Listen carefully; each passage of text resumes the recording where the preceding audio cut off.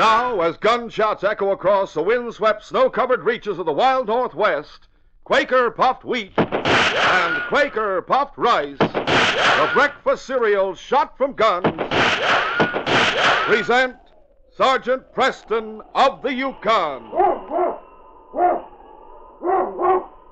It's Yukon King, swiftest and strongest lead dog of the Northwest, blazing the trail for Sergeant Preston of the Northwest Mounted Police in his relentless pursuit of lawbreakers. On King! On, you husky! Gold, gold discovered in the Yukon. A stampede to the Klondike in the wild race for riches. Back to the days of the gold rush.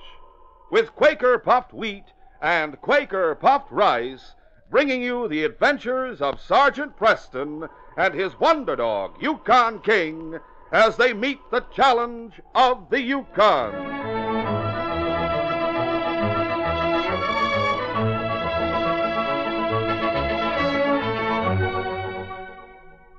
Say, fellas and girls, Christmas goodies come only once a year. But the goodies you can enjoy every morning are those king size grains of sun ripened rice or wheat shot from guns. Yes, I mean delicious Quaker puffed rice and Quaker puffed wheat, topped with lots of milk or thick, rich cream and chilled fruit or sliced bananas. Mmm, a treat for your taste every time. Be sure to have a heaping bowl full of delicious Quaker puffed wheat or Quaker puffed rice tomorrow morning.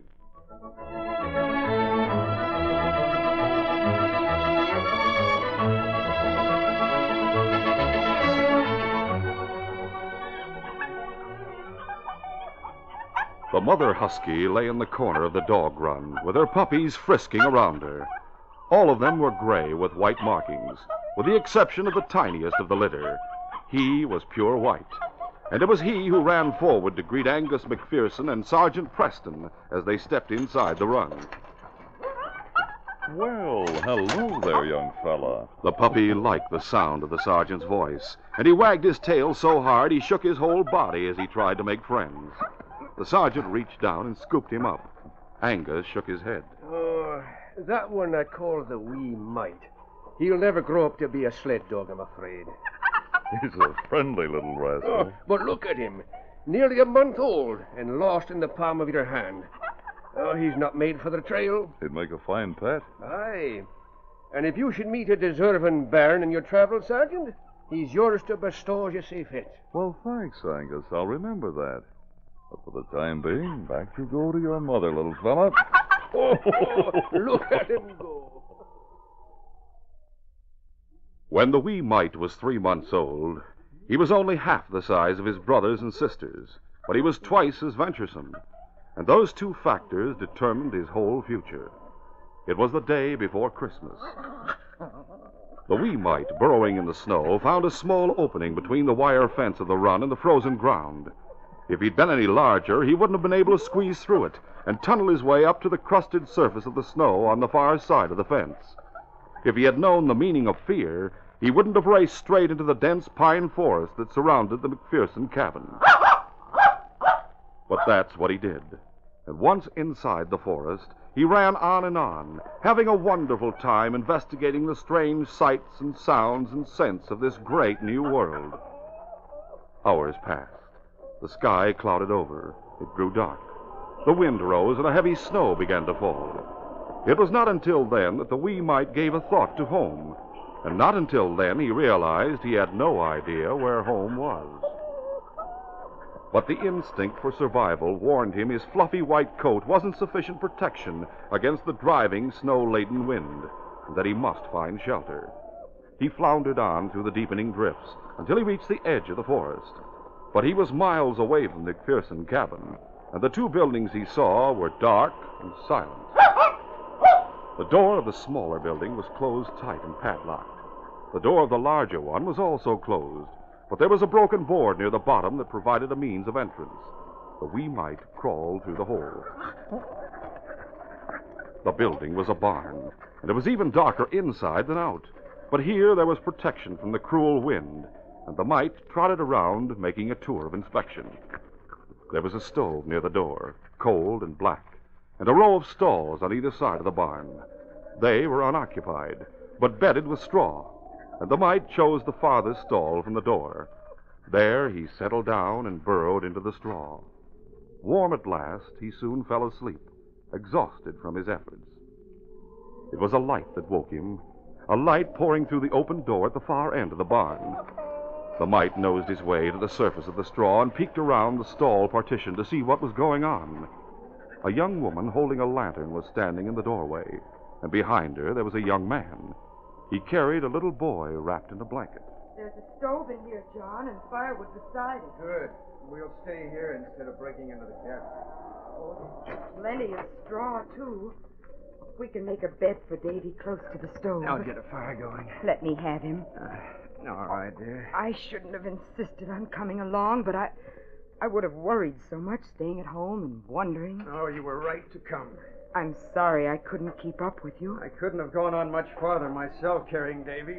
Mommy, I'm so cold. I know, darling, but you'll be warm in a minute.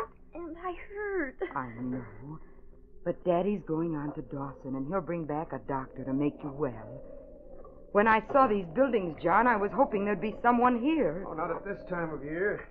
It's a way station for the stage line. They don't operate during the winter. How far is it to Dawson? Perhaps ten miles. Oh, Dear, perhaps we should have stayed at home. Uh, and simply done nothing?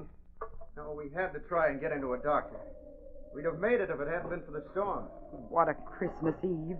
Like Jesus. What, Davy? It's like Jesus. This is a stable, isn't it? Oh. Yes, darling. Is there a manger here? Those are mangers in the stalls. They put hay in them for the horses to eat. They're not very big. I couldn't fit into one of those. Jesus was only a little baby when they laid him in a manger. Oh, Darling. If there were only something we could do for him, John. I'm sure it's appendicitis, dear. He needs a doctor. There. Yeah, the fire's going. It should warm up in a minute. I'll get some straw. From far back in the dark recesses of the barn, and with only his little head showing, the wee mite watched the man pile straw beside the stove, then take the little boy from the woman's arms and place him on it. The puppy liked the boy and would have liked to make friends with him, perhaps even snuggle down in the straw beside him, where loneliness and fear could be forgotten. Wee Mite had lost his supreme self confidence, though. He was afraid the man and woman might object if he came any closer, might even drive him out into the night and the storm. So he nestled back in his burrow and whimpered a little as he watched unseen. There you are. How's that, Davy? it's soft. Are you feeling any better, son? I'm sleepy. That's good. You try to go to sleep, Davy. All right, Mommy. John, I don't like the sound of that wind. I don't think you should try to get to Dawson tonight. Oh, I must, dear. Davy seems to be a little better. By morning, the snow may have stopped, and then we can all go on together. You'll have to fight every step of the way to Dawson if you try to make it tonight. What? Listen. Someone calling. See who it is. Yeah. It's a traveler heading this way. Anyone we know? No, a rough looking customer. Perhaps I'd better stay here with you. Yes, by all means. Howdy, partner. You mind if I come in? No, not at all. There's a stove. We have a fire going. That sounds good to me. Why, a woman. yes, my my wife and my boy. I'm John St. Clair. I'm a trapper. Might call me a trapper, too. Name is Smith. Ah, You're welcome. Are you on your way to Dawson? I've just come from there. How's the trail? There isn't any now. Ah, it's a terrible night. Merry Christmas. Well, at least we have shelter. Hey, who's that? I have no idea. Another traveler, perhaps. Stand aside from the door. What? Why are you drawing your gun? Never mind. Stand aside. Door isn't barred. Come in. I can't. I have a man who's nearly done for it. I'm holding him up. All right. Open up, St. Clair. Once more, the wee mite stuck his head out of his burrow and around the stall partition to see what was going on. Two men staggered into the barn. John St. Clair pushed the door shut behind them. One of the men was completely exhausted and would have dropped to the floor if the other hadn't lifted him bodily and carried him toward the stove. Here we are. Do you mind if I put him down here, ma'am? Oh, no. Is he hurt? No, not that I know of.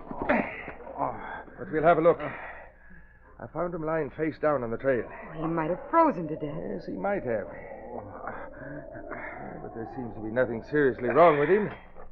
Little warmth is all he needs. Are you all right, man? yes.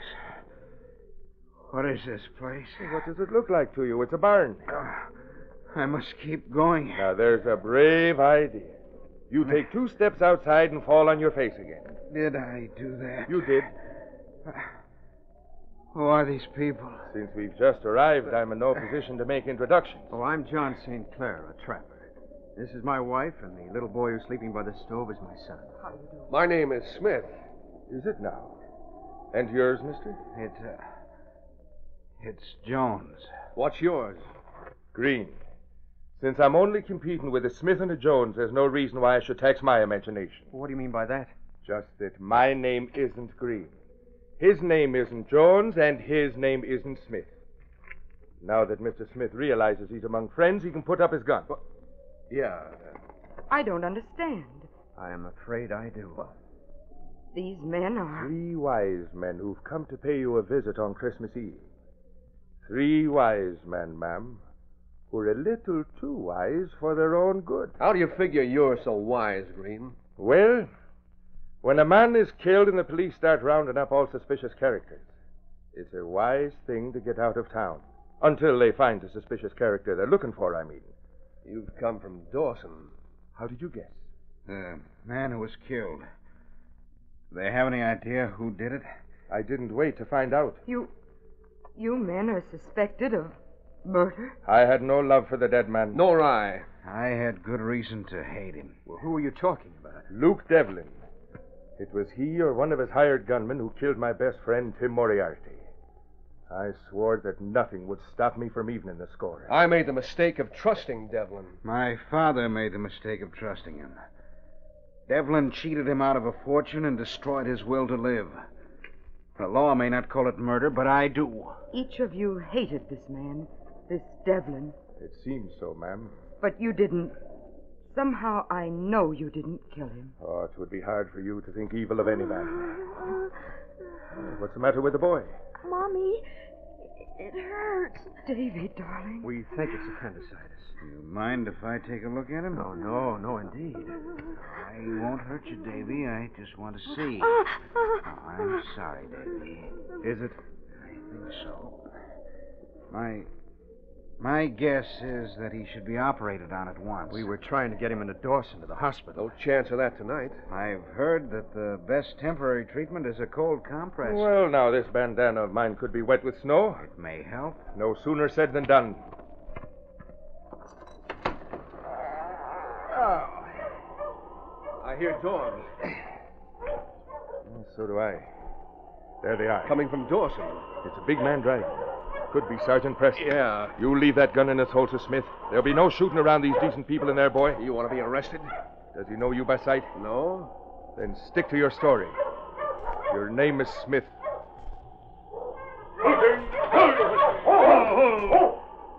For the first time that night, the wee mite hidden in the straw saw a familiar face. He recognized the sergeant and the great dog that entered the barn with him. The puppy would have run to greet them if King hadn't come straight to his hiding place far back in the barn. But King merely touched the puppy's nose and returned to his master. The mite, more than a little bewildered by all that was going on, decided to stay where he was and continue to watch. The sergeant knelt beside the boy and examined him. He talked with Mr. and Mrs. St. Clair for a few minutes, and then he and the three men who called themselves Smith, Jones, and Green left the stove and walked straight toward the stall where the mite was hiding. The mite burrowed deeper in the straw. There's no need to disturb Mr. and Mrs. St. Clair with our business. You have business with us, Sergeant? With one of you, and any one of you might fit the description of the man I'm looking for. About six feet tall, about 180 pounds, black beard, caribou parka. Yeah, the description fits all three of us, that's for sure. May I ask what this man you're looking for has done that he should be wanted by the law? The man I'm looking for knows what he's done. I expect him to identify himself. Oh, do you, Sergeant? You seem very confident. I am. Because the man I'm looking for can save that boy's life. Come along, King. Where are you going? To get some food and some tea from my sled. Think it over, men. Think what over? What he said? That one of us can save Davy's life.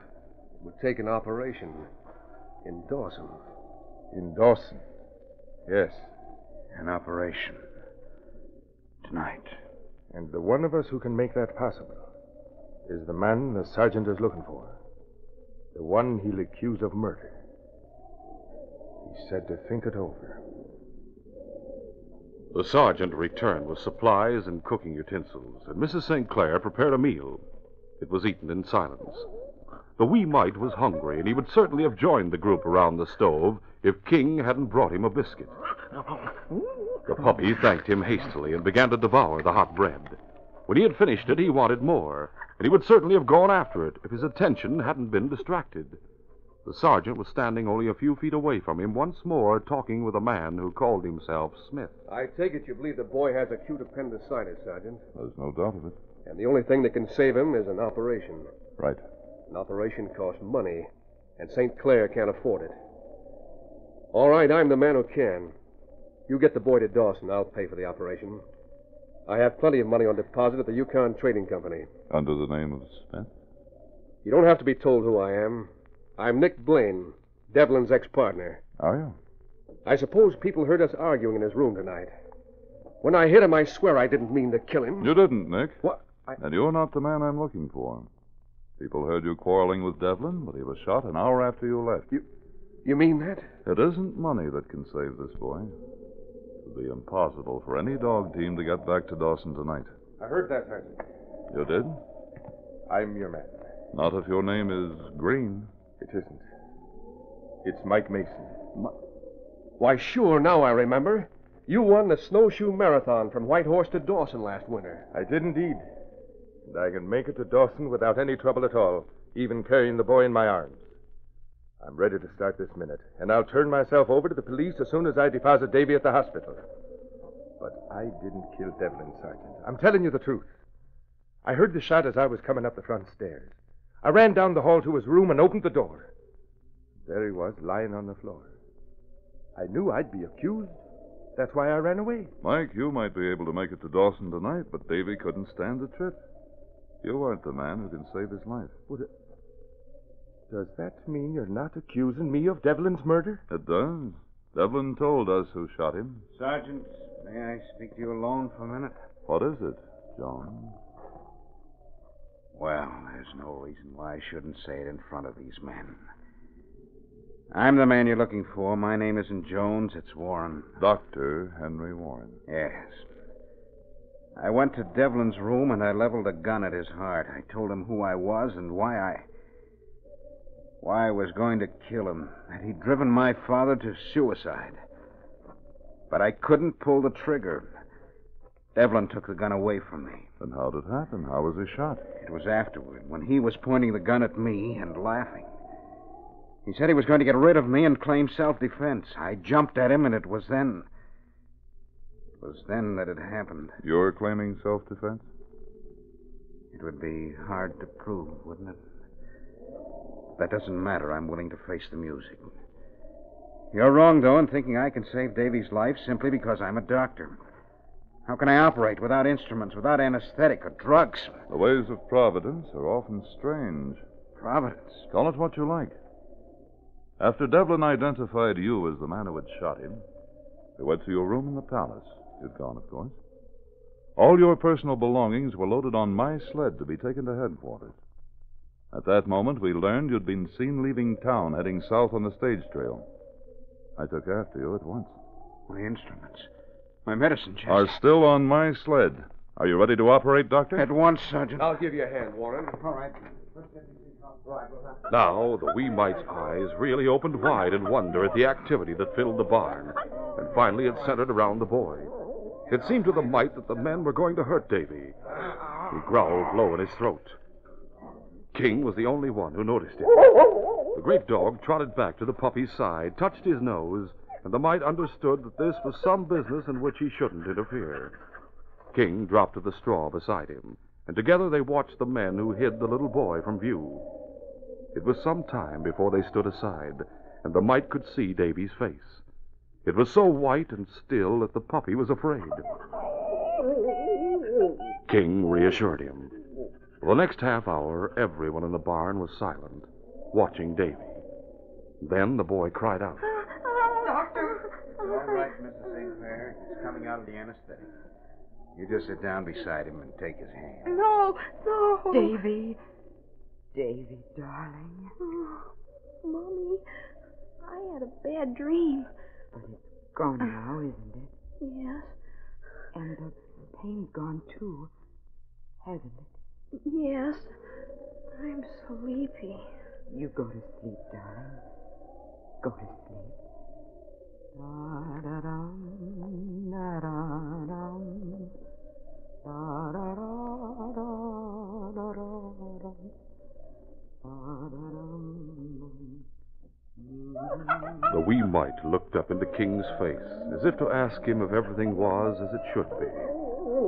King's answer was satisfactory, and the puppy followed Davy's example, snuggled deep in the straw, and went to sleep. He slept for a long time. When he wakened, the storm was over. Someone had just driven up, and as the sergeant went out to meet the traveler, the mite could see the clean white snow sparkling in the sun. But the puppy's first thought was of Davy. The boy was still sleeping. And then whoever had stopped outside the barn drove away, and the sergeant came back inside. That was Constable Downey, men. He brought good news from Dawson. Oh? Devlin's still alive? Yes, and what's more, he'll recover. Oh, thank heavens. But the news is even better than that for you, Doctor. The Christmas spirit must have touched Devlin last night.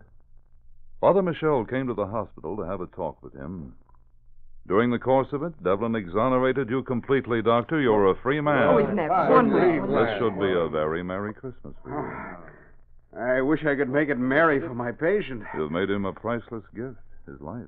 But when he wakes up, he'll be disappointed.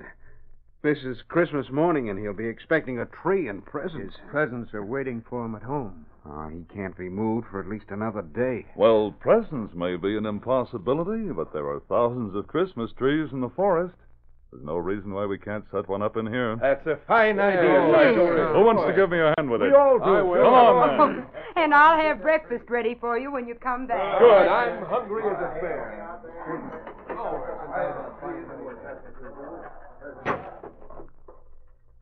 The wee mite watched King leave the barn with the men, and Mrs. St. Clair returned to the stove to busy herself with preparations for breakfast. Then the puppy's attention returned to the sleeping boy, and a strange, wonderful feeling filled his heart. A feeling that he would never be lonely or afraid again, because he had found something he had been searching for a master to love and follow all his life. More than anything in the world, he wanted to run to Davy's side, and with the desire came the courage to accomplish it. Without a thought of Mrs. St. Clair, he scrambled from his straw bed and started forward. When he was only a foot from Davy, he stopped. The boy's hand was lying on the outside of the blanket, and the mite touched it with his little pink tongue. The boy's eyes opened. Oh, are you mine? You must be. Santa must have left you. You're so white and soft. Oh, Poppy, I love you. Davy took the mite in his arms. The puppy settled down in perfect contentment. Together they dozed off to sleep. What? What's that? It was Mrs. St. Clair's voice that wakened the mite. Well, where did you come from? The tone of her voice and the look of shocked surprise on her face filled the mite with panic. He turned to his newly adopted master, hoping he would vouch for him. But Davy was sound asleep. The puppy began to tremble, and he lifted his soft brown eyes to Mrs. St. Clair, pleading for permission to stay where he was. Dear, now, I didn't mean to frighten you. There, there, little fellow. You're a handsome youngster. The mite was grateful for the kindness in Mrs. St. Clair's voice. But just then, the door of the barn opened, and the men came trooping in. John, John, come here. Sergeant, please. The mite dove underneath the blanket and began to tremble once more. Only a moment later, however, King stuck his nose under the blanket and gently forced the mite to raise his head and look at the men gathered around him. At the same time, King made the puppy understand there was no reason to be afraid, and the mite took him at his word. At least the big man with the red coat showing beneath his parka was a friend. Look, John, a puppy. Where did he come from? I'm sure he didn't slip in as you went out. I closed the door myself. He must have been here all night, sleeping in one of the stalls. And Davy's made friends with him. Now, could there be a better Christmas present for the boy? But the puppy must belong to someone, Sergeant. oh, he does. He belongs to Angus McPherson, who lives on the other side of the forest. Davy can't keep him. We'll have to give him back. No. Angus calls him the wee mite. He'll never be large enough to be a sled dog. Even so. And Angus told me three months ago that he was mine to give to any boy who wanted a pet. Oh, Without opening his eyes, Davy murmured, Lie still, Whitey. Oh, you're the best Christmas present I ever had. Did you hear that, Sergeant? Yes, Mike. Last night, when Nick and the doctor and I came here to the stable and found the boy, I was reminded of the old, old story. And when Mrs. St. Clair asked us who we were, I said we were three wise men. Well, in a way, we acted just like those other wise men. They brought the babe in the manger gifts. gold and frankincense and myrrh. Nick offered gold to Davy, and I my strength, and the doctor his skill. But in the end, it turns out to be your gift that means the most, Sergeant. I haven't given Davy anything. The puppy. It's the wee mite himself who's done the giving. No wonder that his offering is the most acceptable. He's proving again what was proved 2,000 years ago. There can be no greater gift than love. Merry Christmas, everyone.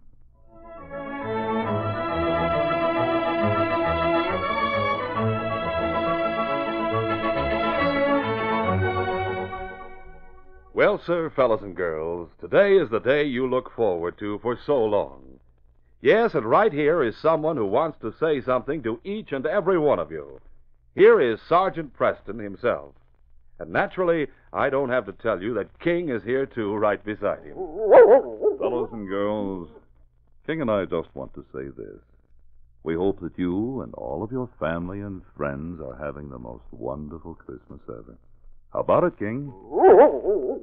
That's, that's King's way of saying for the both of us, Merry Christmas. And Sergeant Preston, that goes for me and for all of us here. And for the Quaker Oats Company, makers of Quaker puffed wheat, Quaker puffed rice, and Quaker Pack-O-Ten. Yes, from all of us, a Merry Christmas to one and all.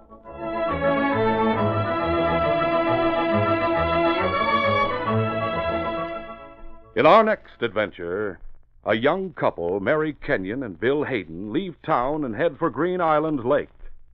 A December blizzard is sweeping the trail, and at Painted Creek, a band of desperate men are lying in wait, determined that two young lives shall be sacrificed to their greed.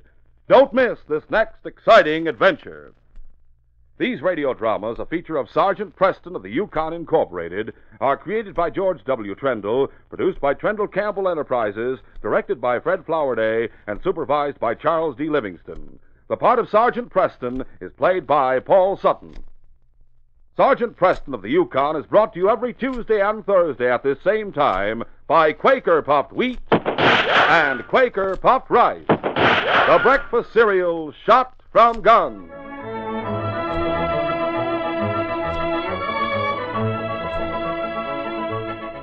Listen tomorrow at this same time to The Green Hornet, brought to you by the drink that makes you feel fresh again Delicious Orange Crush. This is Jay Michael wishing you goodbye, good luck, and good health from Quaker Puffed Wheat and Quaker Puffed Rice. So long. This is the Mutual Broadcasting System.